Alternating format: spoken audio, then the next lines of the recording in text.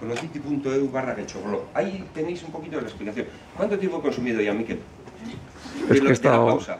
Pues estaba yo así en pausa, ¿no? Entonces, en el, en, en, el blog de Conociti tenéis la, la breve explicación en la cual de tener dos ficheros de vídeo como sencillamente conociti.eu, eso es. Y entonces, ahora, eh, eh, aquí nos aparece Gechoblog, tendría que aparecer, aquí, el Gechoblog, por favor. Eh, Vale, eh, entonces, el, eh, en, el, en, el, link, aquí, eso sería, en el, este, link. Entonces, eh, os explico de una manera muy, muy breve eh, ¿Cómo podemos hacer este proceso? Eh, pues esto de no tener... Aquí tiene mucha tecnología, pero no tiene pantalla táctil. ¿eh? Vamos, eh, subir un poquito la pantalla. Fijaros, sobre, una, sobre un pantallazo del editor de YouTube, que me imagino que todos conocéis, y si no conocéis, pues automáticamente ponéis, detrás de YouTube ponéis barra editor, eh, os aparece la pantalla de edición de todos los vídeos que son Creative Commons, los tuyos primero y si no los de otra gente. En este pequeño eh, mapa conceptual explico cómo editar vídeos en la nube. Primero grabas dos vídeos, los subes a YouTube, los pones en la línea de tiempo y en esa línea de tiempo es muy sencillito, muy sencillito, os lleva un tiempo al principio, más de tres minutos como Miquel me pretendía dar. Y aquí eh, podéis ver, el vídeo que aparece al principio de Conociti está editado así.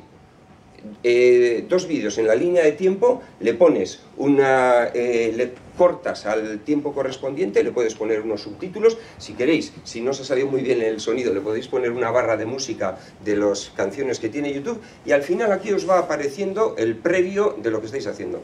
Animaros, entrevistarles a gente que tenéis ganas de saber algo más, por ejemplo, podía ser Dani, podía ser gente de la que queréis saber algo más, hacer dos breves secuencias de vídeos, subirlas a YouTube y a ver si conseguimos, Miquel, ¿cuántos eran? ¿50, 100, 100 mil?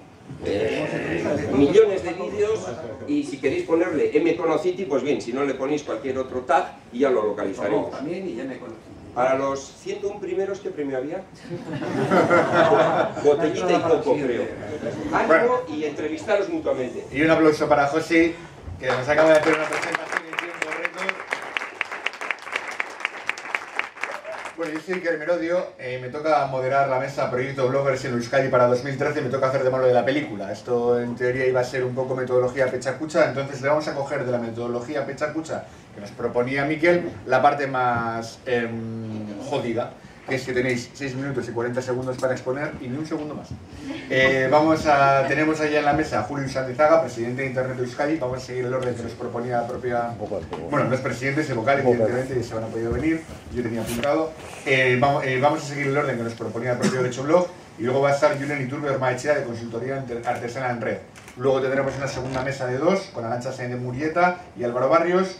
Y otra de tres final de Jorge de Larrán, Iñaki Alonso y Gorka Rodríguez. Bueno, tengo un iPad y he aprendido a utilizar el cronómetro, em, por lo tanto voy a ser bastante em, recto, cosa rara en mí, em, en esto del tiempo. Cuando llevéis 5 minutos os eh, indicaré que lleváis 5 minutos y sabéis si tenéis un minuto y 40, no es muy difícil calcular segundos. O sea, no es muy fácil calcular segundos, pero ya me encargaré yo de deciros que os habéis pasado. de verdad que lo siento, pero el tiempo apremia. Yo no voy a robar ni un segundo más. Julio, iniciar. Vale, gracias. Buenos días a todos. primero, bueno, pues yo venía a hablar un poco bueno, de lo que es la Asociación Internet Euskadi, que bueno, ya llevamos bastante tiempo defendiendo los derechos de la ciudadanía en Internet y bueno, pues en esta ocasión nos venía a hablar de los premios Buber y Datorrena, que van a tener lugar en San Sebastián, en, en el Cursal. Y bueno, va a ser el jueves 29 de noviembre y a las 7 en el Cursal de San Sebastián y que bueno, estáis todos invitados a asistir.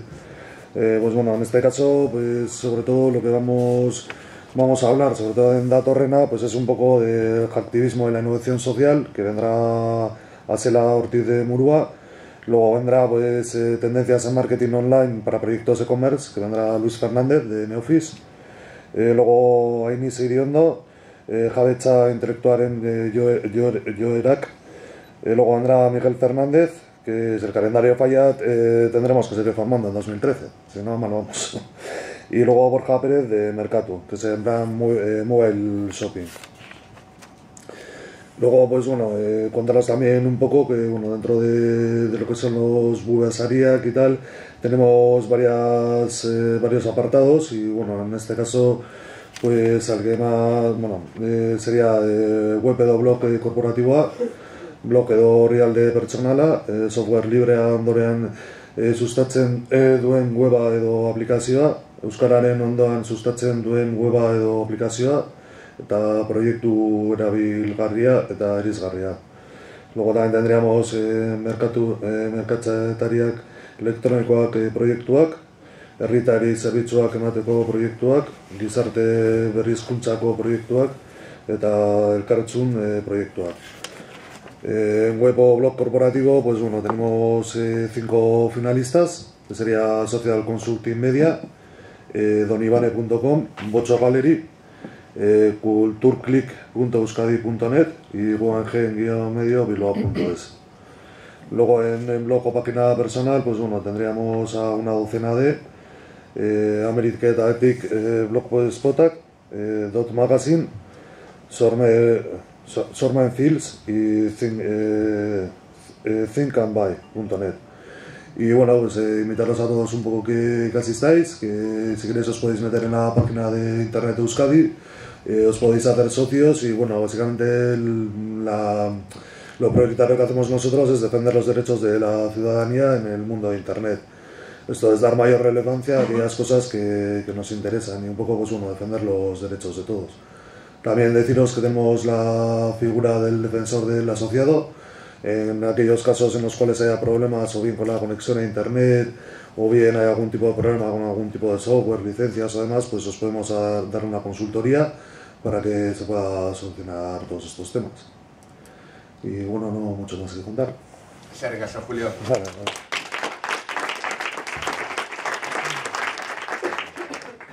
El siguiente va a ser Julen Torre Orma Echea, de Consultoría de Artesana en Red. Yo creo que no hace falta presentar a Julen, es un viejo conocido de muchos de nosotros. Julen, cuando quieras. Gracias por lo de viejo. Eh, es que en- engancha con la presentación, ¿no? Entonces, Miquel me dijo que iba a hablar del futuro y relacionarlo con el blog. No tengo muy claro que tenga algún proyecto con respecto al blog. Lo que se me ocurría es pensar un poco en que quizá algún día el blog se muera. Es una pequeña reflexión sobre la muerte del blog, ¿vale?